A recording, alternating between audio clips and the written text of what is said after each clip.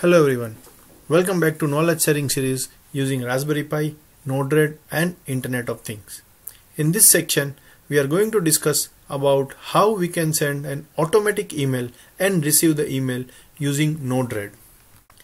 In Node-RED, there are some nodes called email nodes which are useful for sending and receiving the emails. Now, to get that node, there are two ways. The first one is go on the left hand side and type the name email in the filter nodes. You can see there are two nodes available or you can scroll down this and find out the particular group called social group where you can find the email nodes. Here it is. Let's check the email node. There are two types of nodes. One where the connecting dot is on the left hand side that is the second one and the other one is the connecting node on the right hand side. This node this node where the connecting node is on the right hand side is useful at the time when we want to fetch the email and the node where we have the connecting node on the left hand side is use is useful to send the email through the node-RED. So first we are going to see that how we can send the email. So this node is useful so let us check the property of this node by which we are going to send the email address. Double click on the node and the property window will appear. The very first field is nothing but the destination email address where we want to send the email.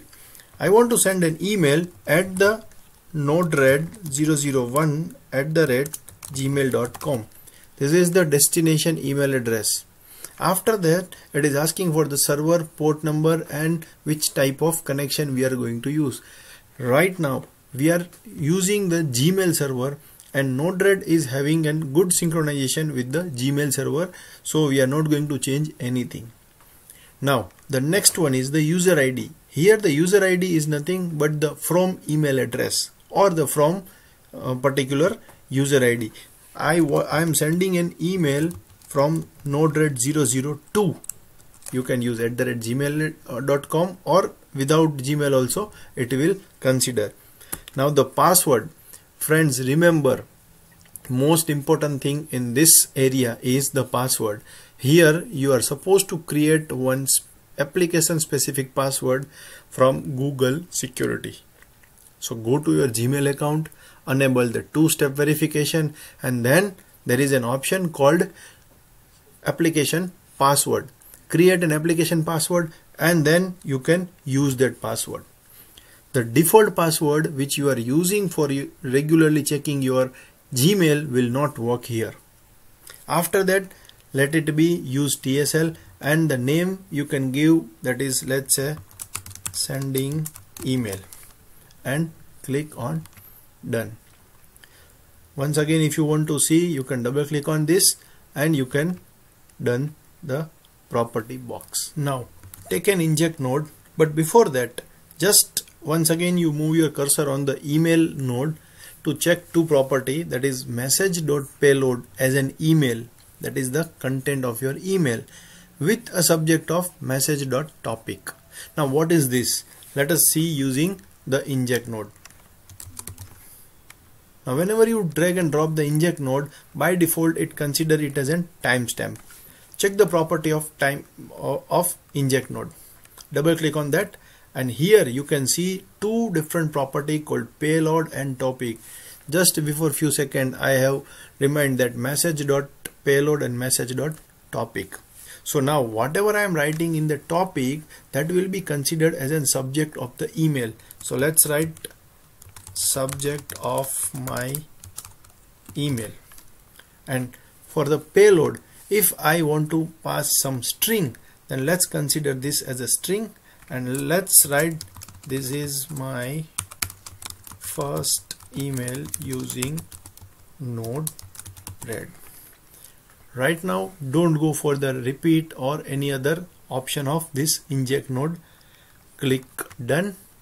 Connect this to node and click on the deploy. If everything is okay you will get some sort of message. I have some other nodes available in my flow. That's why it is showing me this message. But right now there is no problem. Now click on this button so that it will inject the particular data for that particular email node.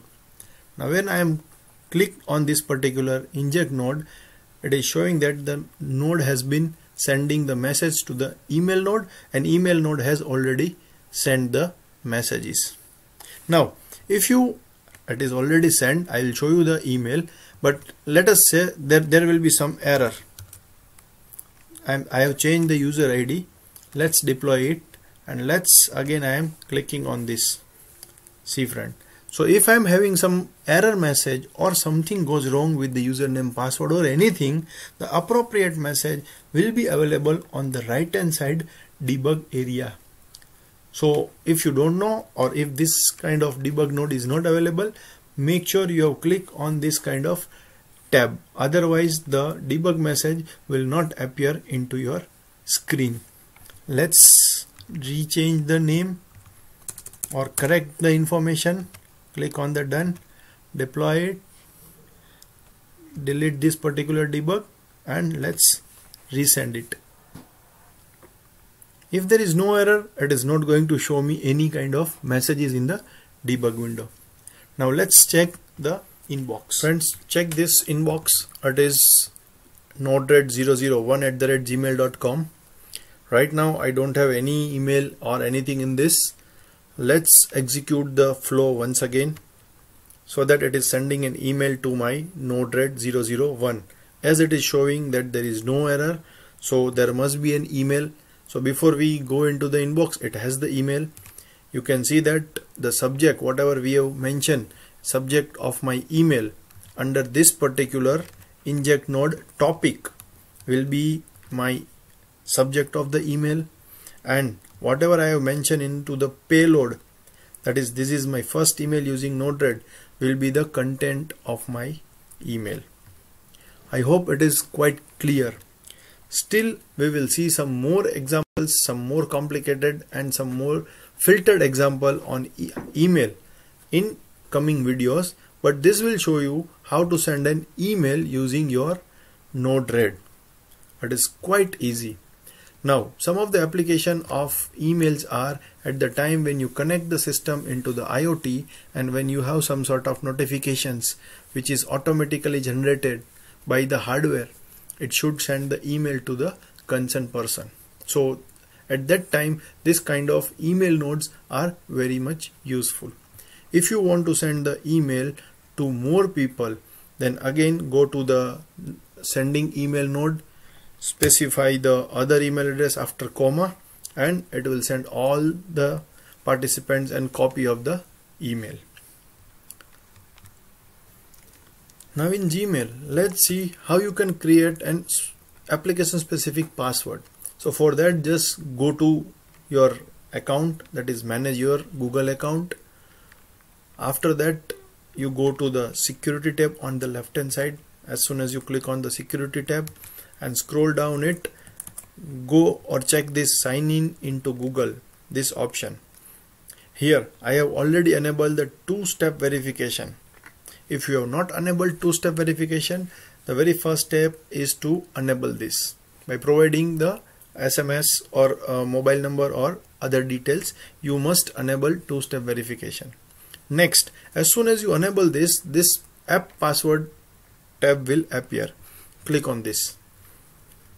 It will open new window but once again as it is in security it will ask you for the password. And after that it is asking that select the app and device you want to generate the app password. So here our Node-RED is not there. So you can give the name other. Let's say you can select the customize name. Before that you delete this. Maybe some issue with the yes.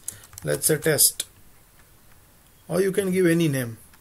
The password will be automatically generated by your Google the same email has been given to your inbox that you can see here the password has been successfully created right so just copy this password and use this password into your node-red sending email node otherwise your node-red will not be able to send any email through its sending email node. Gmail will block this particular application. I hope it is quite clear to send the email using Node-RED on Raspberry Pi. Subscribe the channel to get the regular updates on knowledge series. Thank you.